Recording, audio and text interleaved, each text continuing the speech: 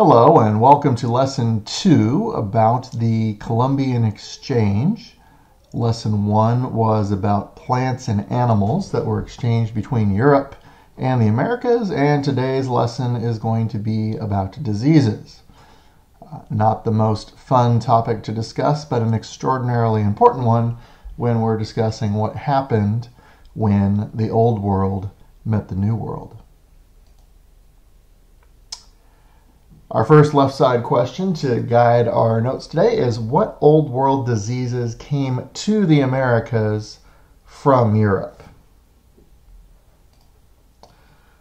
One thing that's important to understand is that the diseases that started off in Europe were extremely strong. Uh, and part of the reason they were strong is because the Europeans had developed pretty strong immune systems. And so the diseases were always struggling to become stronger than the immune systems of the Europeans. It's, it's a battle that always occurs between a virus and uh, the target of the virus, and that still happens today. Diseases today are overcoming antibiotics all the time. Uh, lots of diseases were from Europe that had never been seen in the Americas and were introduced to the Americas by the Europeans who came over on their ships. Among these were smallpox, measles, diphtheria, whooping cough, chicken pox, the bubonic plague, scarlet fever, and influenza, also known as the flu. Um, these all went one direction. Um, and most of these diseases were very easily communicable. That's a big fancy word that means transmitted or given. So it meant that some diseases are hard to get, other diseases are easy to get. These were all diseases that were pretty easy to get because they flew through the air or they could be transmitted simply by touching somebody who had them. And the issue that's most important to understand here is that Europeans did not know they were doing this. Medical science at the time was not very good, and most people had no idea how disease was even transmitted. So this was not done on purpose, um, but it almost didn't matter. The consequences were still dire and extremely real. And I am about to change the slide. Europeans had certain beliefs that also affected uh, the Columbian Exchange and affected the Europeans' attitudes towards the New World. Um, and this is a very important thing to understand. As I said on the previous slide, there was no germ theory, and that's a scientific term. The Europeans did not understand how diseases were transmitted. As a result of that, they didn't wash their hands, they didn't uh, clean or sanitize things that were given to the Native Americans. You know, it was pretty much a, a dirty world, and they just did what they did.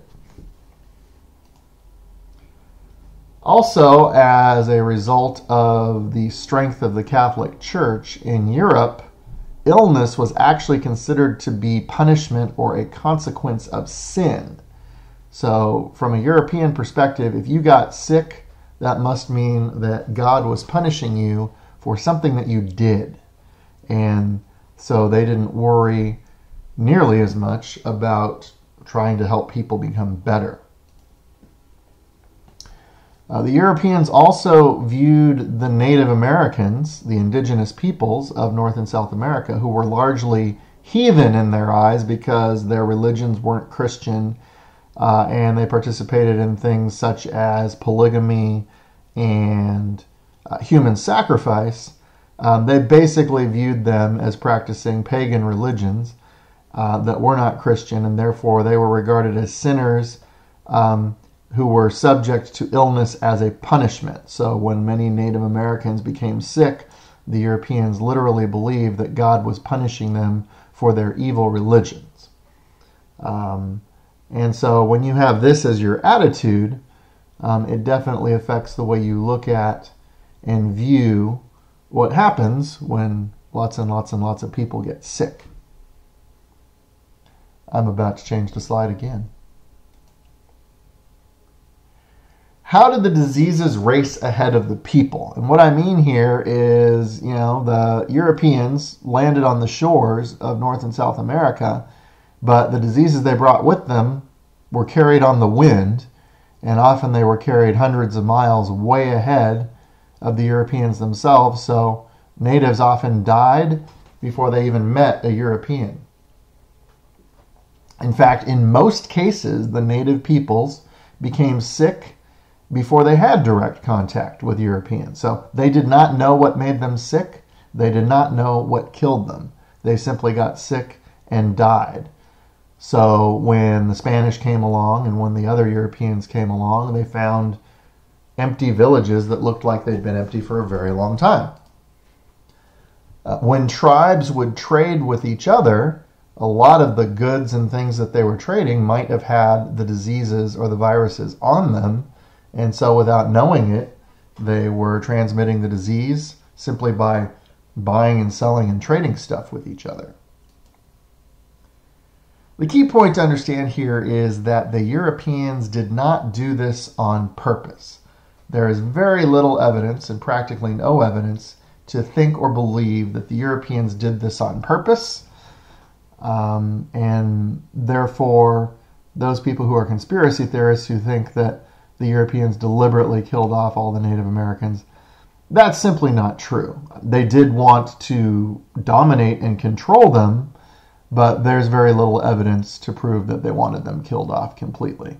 Uh, 90% of Native Americans, and that's the high end of the, the estimate, um, but approximately 90% of Native Americans died simply because they had no immunity to disease, and the Europeans had no idea that they were transmitting that disease. Flip to the next slide.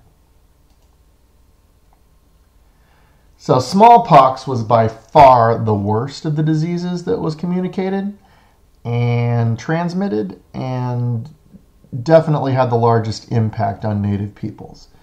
And I'm going to warn you here smallpox is not a pretty picture. Our left side question is What were the consequences of smallpox? In central Mexico, where the Aztecs lived, the population dropped from about 25 million when Hernan Cortez showed up in 1519 to less than 1 million in 1605. So, in approximately 85 years, the population dropped 24 out of 25 times. I don't know what the percentage is there, but that's that's a significant drop. That's a a mind blowing drop. That is more than 90%. On Hispaniola Island, where Christopher Columbus first landed, there were 1 million natives there in 1492. That number dropped to 46,000 by 1512. That's only 20 years. And the reason for that was disease. And then the other thing to consider here is those natives that survived must have been natives who had the strongest immune systems because otherwise they wouldn't have survived. The statistic I just gave you that in North America, 90% of Native Americans were gone within 100 years of the Pilgrims landing on Plymouth Rock in what is now Massachusetts.